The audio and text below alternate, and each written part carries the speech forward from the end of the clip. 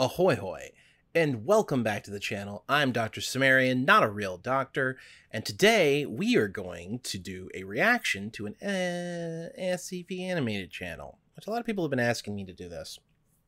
Today, we're going to react to SCP-4793, Stele, which I, I looked this up, and that is definitely how you pronounce that. Uh, I'm going to lead off with the proper credits. This video that I'm reacting to is SCP-4793 Stele by The Rubber. Um, it is under a Creative Commons Share Alike 3.0 license. That's the wrong license because the article you're deriving from, yeah, uh, this video, it says his credits say this video being derived from the article link is released under a Creative Commons Share Alike 3.0 license, but the original article is under a Creative Commons sh- Attribution Share Alike 3.0 license. You can't leave the attribution element out of your uh, license declaration. It's necessary. That's weird. I don't know what. That's the second channel I've seen doing this. Huh the original article because this is going to i mean i don't necessarily have to because i'm reacting to somebody else so technically there it's a it's a it should be a series of links but since they I, i'm just going to do it anyway who cares scp-4793 was written by dyslexion uh, on the 15th of November 2019. You can find it at http colon forward slash forward slash scp forward slash SCP dash 4793. Uh, and if you have problems remembering that link name, don't worry, it's in the description. So I read the whole article. Article is 16,000 words long, roughly. It's it's it's long, and I didn't like it. I actually downvoted it, but it's it's got a lot of it's got a lot of good things going for it. It's just got also got a lot of bad things going for it. In fact, the length I think works against it in that respect. Um, it's just there's just too much stuff that's it just doesn't work for me basically. Anyway uh too much stuff that doesn't work for me. Uh that's so that's that's just true of the scp wiki in general. All right let's get started. Viewer discretion is advised. An x06 jumps on shore. She pushes her arm into its throat as it starts to claw at her. She pulls a knife from her belt and stabs it three times in the neck before shoving it off. Hello everybody, I'm the Rubber. Today we bring you SCP Foundation Euclid Class Object SCP-4793. SCP I'm going to pause periodically throughout the video to give you my comments, but otherwise I'll let the video play. P-4793 is a male human dressed in a traditional armor of a Spartan hop. dressed in a traditional armor? You mean the? That's sorry, that's a little tiny problem during the Golden Age of Greece. 4793 appears to be in his late 20s and has been confirmed during the golden I think you mean from the golden age of Greece since he is now in the current age to be of Greek descent. 4793 has demonstrated heightened cellular reproduction within his body.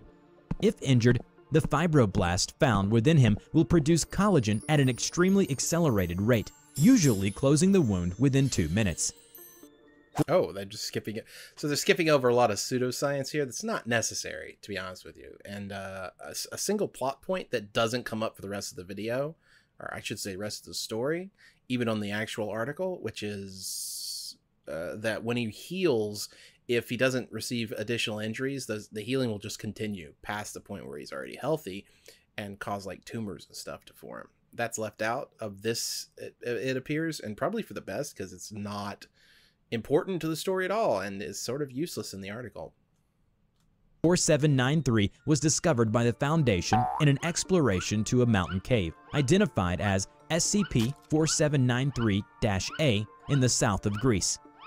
4793 is the entity that emerged from the relief carving on 4793-A. After the discovery, 4793 was after the dis is incredibly plot important stuff that just happened that they just skipped over. The Chaos Insurgency finds the guy and are cartoonishly evil about it. Like one guy almost says, I don't know if he says exactly this, but something along the lines of, I like hurting people, so let's hurt this guy. Uh, whilst he's going, I don't want to hurt you. I'm, you know, I'm, I'm, I, I'm a warrior, but I don't want to be a warrior. Please don't make me hurt you. And then he knocks them all unconscious immediately. and the SCP Foundation just so happens to be there at the time. Uh, I'm rolling my eyes at that particular plot point, but they just so happen to be there at the right time and uh, capture him by basically throwing their weapons down and having a negotiation. The problem is, is that what is it? I'm with the Foundation. I'm here to we help people or something like that. Uh, is like a line of serious importance later on in the story. I don't know. Well, maybe they're changing the story up enough that they won't need to have that for the callback later. But all right, was transported to Site 20. In the Foundation, director Jack Hargraves engaged in a series of program assessments and tests to explore the combat capabilities of 4793 with the hopes of adding him into MTF Alpha 9. Alpha 9 is the uh, Resurrection Canon's version of, uh, I guess, 7, I think it is. But the old, uh, an MTF made up of SCPs, uh, which it's funny because this guy is essentially a spiritual rewrite of Abel, okay? Uh, and Abel was in Omega 7, and he, the reason why Omega 7 doesn't exist anymore is because he killed everybody. 4793 performed exceedingly well against Captain Holly Shore. While initially requiring motivation, 4793 engaged Holly and started to cooperate in the exercise, especially when presented with a threat to Captain Shore's life. So this is sort of skipped over, but Hargraves is running like a weapons program here. Uh, and he is also cartoonishly evil. A lot of the bad guys in this are just cart like caricatures rather than characters. Um, Hargraves attaches explosives to them to him. I should say Hargraves attaches explosives to 4793 during the first sparring session with Holly, and uh, uh, and says he'll explode them if uh, he doesn't fight back. And 4793 being uh, sort of peaceful, not wanting to fight, uh, refuses at first, uh, especially considering the fact that he can regenerate anyway, until he realizes that the point of it isn't to hurt him, it's to hurt Holly. Hargraves has put the explosives in there so that there's a threat to Holly's life, which is, again, more caricature than character, but here, here we are. Also, I don't think he's telling the truth about it. He's like, I would never really do that, but. You know. Director Jack Hargraves has assigned Captain Shore to work with 47. Oh, also at the bottom of this, you can just barely tell. I know that this is probably a character design choice, but why can I see her midriff in her full body armor?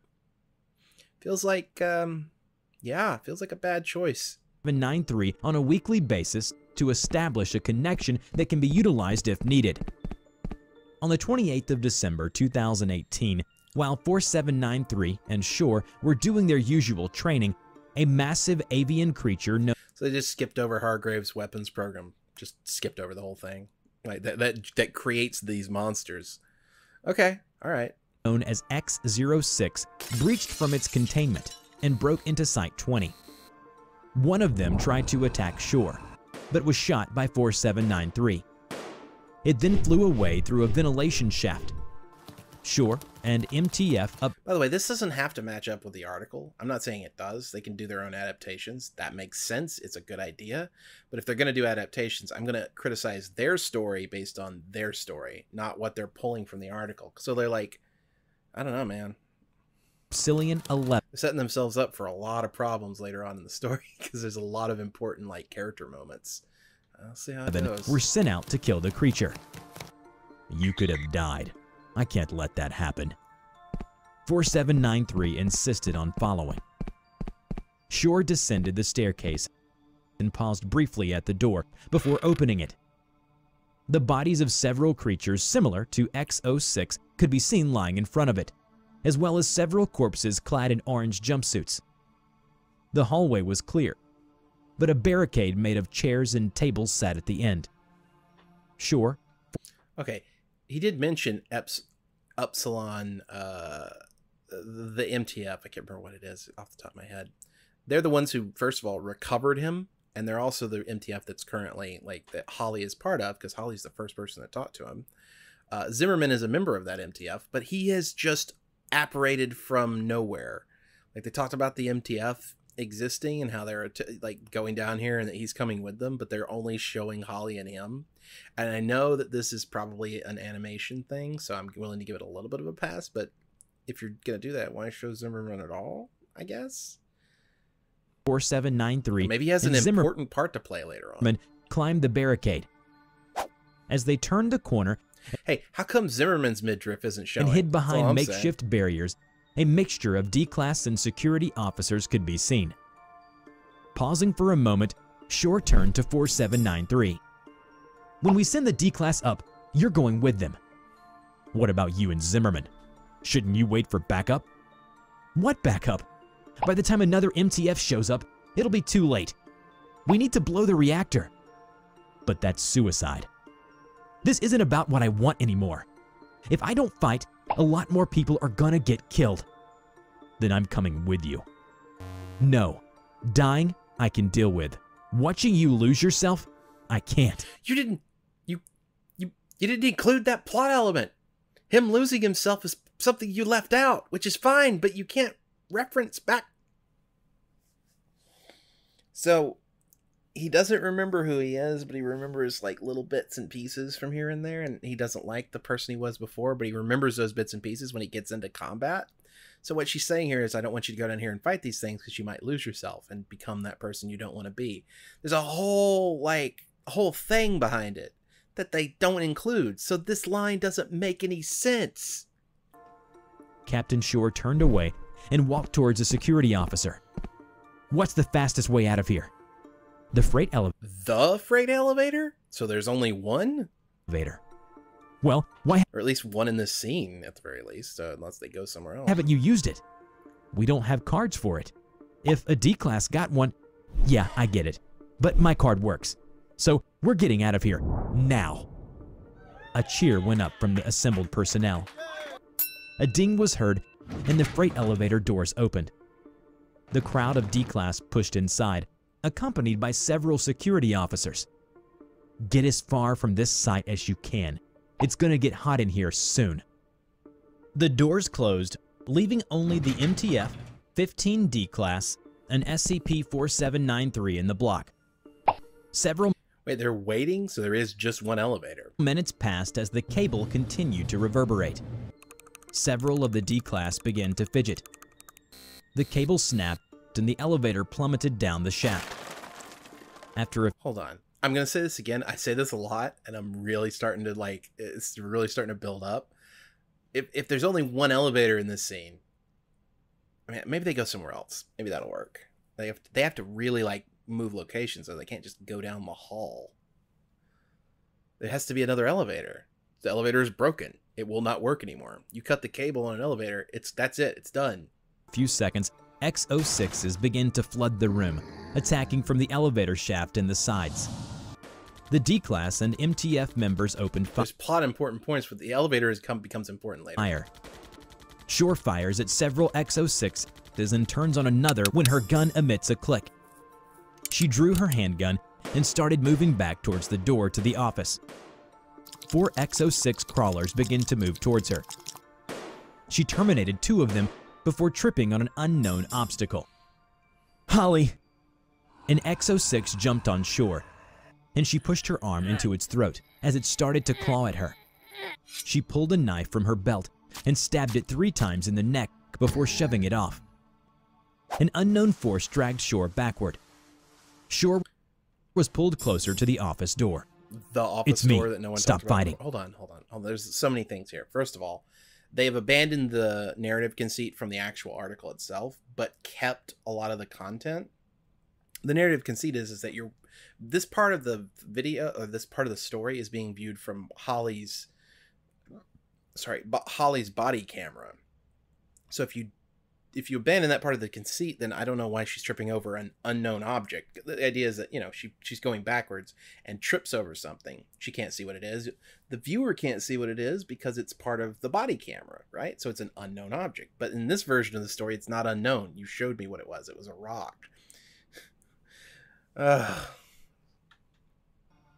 Ace and I Wait, hold on. Let's let's play that again. was pulled closer to the office door. It's me. Stop fighting. Okay, so they left out the part where she's flailing and trying to stop whatever's pulling her back because she doesn't know what it is, uh, which uh, sets up "It's me, stop fighting." It's me, stop fighting. Okay, Ace and I are gonna blow the reactor. You won't make it there.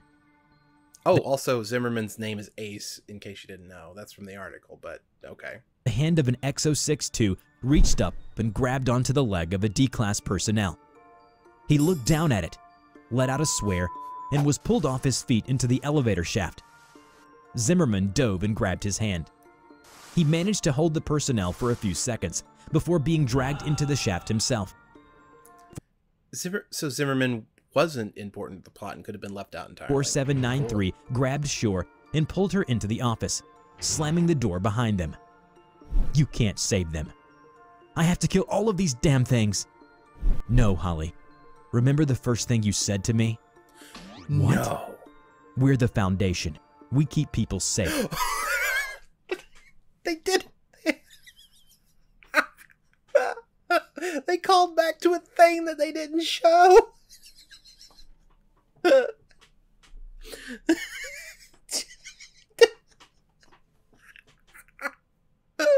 That's a callback to a line that they don't have in their version of the story. Oh my god. Oh wow. That's that's uh wow. Okay. Okay. Here's people. Keep them safe. I'm sorry. That's 4793 pushed Holly and she stumbled into the elevator. What elevator. what? The elevator's broken. You went into an office and then you what? Come back out? It's the same hallway and the same elevator. It's broken. now it's starting to fall apart. I knew it would fall apart right around now, and here it is. Hold her! Don't let her out! Several D-Class grabbed Captain Shore and held her. SCP-4793 turned back to look at Captain Shore as the elevator doors closed. No! I'm sorry. Sorry, that line reading was great. I, I mean, the, the the the voice actor's doing his best with what he's got here, but that no. I mean, how, how else can you deliver it? I guess, but still. 4793 was sitting against a wall, with his sword and shield sitting to the side. He picked up a camera mounted on a combat helmet. Hey, Holly, I hope this message gets to you. Somehow. It's been about two hours. Okay, hold on. Are they implying that he threw Holly into the elevator and then sat down against a wall for two hours? I mean, it feels very much like that's what they're implying. I mean, there could have been stuff that happened in between, but they make absolutely zero indication that anything happened between. He's just sitting and waiting for two hours. hours since I last saw you. I hope it isn't the last. I don't know what to say. So Which, by the way, during that two hours on the actual article, there's a whole bunch of plot that happens that's, again, going to be relevant later. And it's starting to look like they're going to call back to it. It doesn't it, it- call back to a thing that didn't happen in their version of the story. But let's so see. much to say, so little time. I was born to a farmer and grew into a warrior. I battled Ares to a standstill. I won wars single handedly. Then I met my wife. We were set to claim the world. Two immortals who wanted to bring a chaotic world some semblance of peace. And then Ares killed her. because he was in love with 4793 by the way uh 479 there's a whole backstory to that too. Uh the the wife is from the scottish highlands. Uh she came down there to say hello i guess and fought and fight the greatest fighter in the world and uh did so well that he fell in love with her because apparently combat's all this guy cares about. But prior to that the guy had also fought ares to a standstill and ares fell in love with him. So okay. I lost everything. And now I'm here, alone, adrift, a stranger surrounded by even stranger things. But within you, I see the spark I saw in her a burning desire to make the world better. It makes me want to be better. And I don't know if you feel the same, or whether I'll get out of here. But I will fight for you, die if I have to. I love you. Suddenly, a voice came from above where 4793 was sitting. Welcome, Androcles. Did you know there's another Androcles? A Roman, but I digress. He plucked the thorn out of a lion's paw. Years later, when he was thrown into the arena by a cruel Caesar, the lion recognized him and spared his life. no Why are you telling me this? I am the lion. You saved my father, so I will grant you this boon. You saved my father. Okay. So there's a whole bunch of plot that happened in that two hours that they skipped over, and now they're they're calling back to it. Um, uh, Hargrave. Hargrave created these things. They consider Hargrave their father. Um, he runs into Hargrave while he's fighting his way through the site and then spares his life. It's supposed to be this important moment, this important character moment, which they've completely ignored, um, where he forgives someone and lets them live. And then these guys are supposed to be like, and because of that, we're letting you leave because they consider him their father. So letting Hargrave, uh, giving, having mercy to Hargrave uh, earns their respect. Except they didn't include that. So this whole story doesn't mean anything. Leave now, and none of us will harm you. I know you. I'm really bothered by this because, like, they could have created a consistent and co- coherent narrative, but everything in this is like. Uh, it's incoherent. It's a bunch of stuff strung together. It's a bunch of lines pulled directly from the article in certain places and then changed in other places, and parts are left out with no concern for how it affects the overall story. And you have a loved one up above. And it's the number one search return for SCP. So great, I guess. This is what SCP has become on YouTube. What? So you can kill everyone? Like, not every SCP article is great, by the way. In fact, I, like I said, I downloaded this one, and I think it has some serious flaws, but, like, this is much worse. This takes the good, this, like, leaves out a lot of the good stuff. Like, the callbacks are fun, right? Like, you say a thing, and then later in the story, that thing comes back, and you're like, aha. Your brain has that aha moment, but this leaves those out completely and just focuses on, but still does the payoff moments without setting them up. Kill? My short-sighted brother, we don't wish to kill anyone. As our father proclaimed, we will roam the earth, seeking and capturing the anomalous. Why did you call me brother? Our father used your blood to create us. It holds the power that allows us to multiply with such ease, to grow as fast as we do. We are brothers in everything but name. I can't let you leave here, not after seeing this. How will you stop me? By sacrificing yourself? By losing yourself bit by bit as you track us all down. Except the losing your like yeah, sacrificing yourself is one thing. That part you can leave that in because that's just like oh, they we're deadly, we'll kill you. But the losing yourself bit by bit part, you didn't cover that in your version of the story. He's not going to lose himself down because he's not like worried about ga- regaining all of his memories and turning into the monster warrior guy anymore. SCP-4793 punched no. the wall and removed a section of re- So this is at the story oh, uh, bar with a piece of concrete. This is in the story. They did it again. Read at the end. Instantly, they forgot where they were in the scene. Okay, so this is something that hasn't even been covered yet.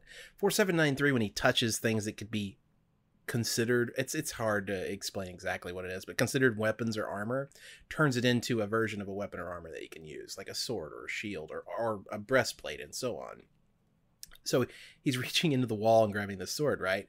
But and we're gonna scroll back real quick here. Yeah here we go. Yeah see this? He already has a sword and a shield. He didn't need to reach into the wall. This is the same scene. Nothing has changed. So in this scene, he's sitting here, he records his message, and then he looks up and has this conversation with the creature, and then the creature comes down and he reaches into the wall and grabs a new sword. There's no uh, and removed a section of rebar with a piece of concrete at the end. There's no Instantly, yeah. it transformed into a concrete greatsword. I know who I am. I am Androcles, oh beloved of Ares warrior of Greece. But I am also Androcles, the protector and friend. I know who I am, and nothing will change this. The central facility of Site 20 was destroyed in a nuclear explosion of unknown magnitude. In the reactor room, no trace of SCP-4793 was discovered.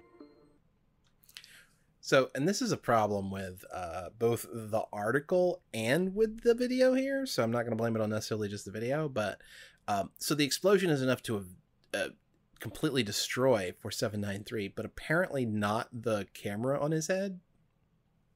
I don't know how that works. Nor the cameras of several other uh, individuals, but also is enough to, to kill off all of the entities inside the site as well. It makes no sense, actually. I mean, they could have uh, made it make sense by just saying that it, it transmitted the images while they were being recorded in like a live stream sort of situation, but they don't. They just find the recordings afterwards, somehow surviving a nuclear explosion. And by the way, it's a nuclear reactor. Let me tell you something about nuclear reactors. They're designed not to explode. Like and even when they do explode, the problem is mostly fire and or radiation spread, not eh, the kind of explosion we're talking about where they like incinerate and or um what's the word? Uh actually incinerate is pretty good. Vaporize where they vaporize things. Like you're not going to get that out of a nuclear reactor, even if you know what you're doing. And he didn't. I, I don't know how the explosion happens, either in the story, on the article, or in this video. So anyway, that's it. I, hmm, I'm starting to see some of the major problems with these things, but they they could be fixed. It's just just bad writing, or I should say, bad adaptation if the well uh, it's not even bad it needs to be tightened up considerably this is not a finished product script this is the script for this video that they put out does not feel finished and it does not feel like it has been like worked on in any serious way. And i am sorry to whoever wrote it and whoever did the adaptation but you need to do a better job. If you're going to call back to a thing that have like you don't have to stick to the article but adapt the story oh man just adapt the story properly. Now uh, i'm going to say this is separate from that i know a lot of these animation channels are having problems with uh, art tracing and just straight up art theft of scp content uh, without the realization that scp content is also even if it's art is also under a creative commons share alike uh, attribution 3.0 license. So um, if you see something in this video from their video that is not either not credited properly on their video or just straight up was stolen, uh, let me know so that I can at least credit you properly in my video. And uh, my apologies, but Jesus. Thank you very much for watching. If you enjoyed the video and you'd like to see more of this kind of content, let me know in the comments down below and hit the subscribe button and the notification bell next to that so you're notified when I upload new videos. And then head on over to patreon.com forward slash dcimmerian and pledge at any level like everybody here on the screen already has, including Dr. J Redacted and Sinjariki, who have both pledged at $100. It's nice to know that I'm not alone out here, and I will see you all again on Tuesday.